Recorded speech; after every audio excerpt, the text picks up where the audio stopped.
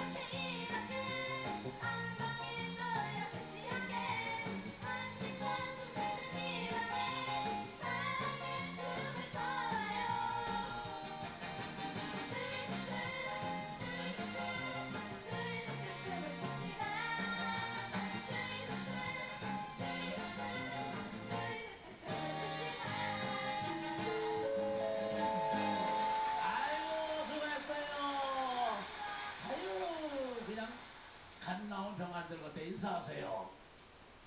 안녕하십니까. 노래 맛을 알고 품격 있는 남자 김인경